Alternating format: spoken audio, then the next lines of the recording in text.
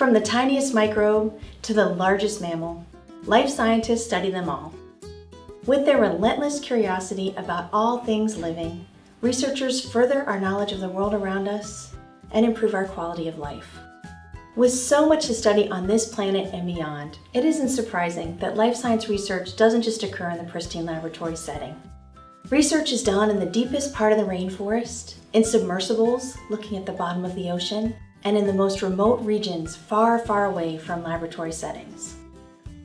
With modular spectroscopy instrumentation, researchers can take the measurements to the samples to avoid sample changes that may occur when they're removed from their natural environment. They can make multiple measurements simultaneously so they can maximize the amount of information that they're collecting for their samples. And they can reconfigure their system as needed to allow them to make a wider range of measurements on their samples.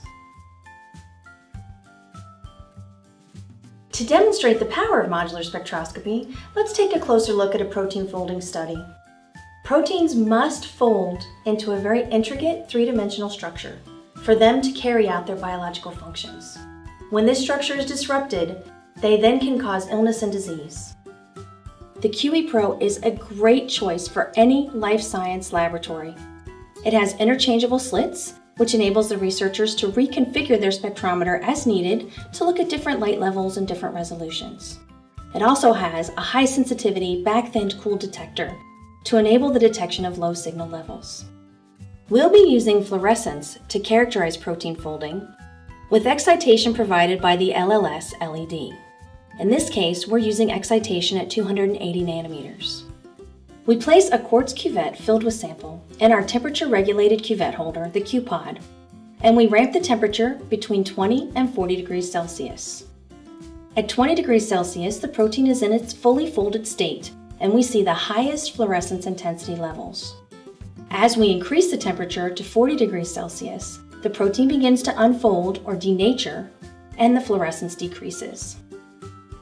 Using this setup, we can ramp the temperature between 20 and 40 degrees Celsius and watch the protein fold and unfold over many cycles. In this demonstration, we've showed you a modular spectroscopy setup that can be used for monitoring protein folding.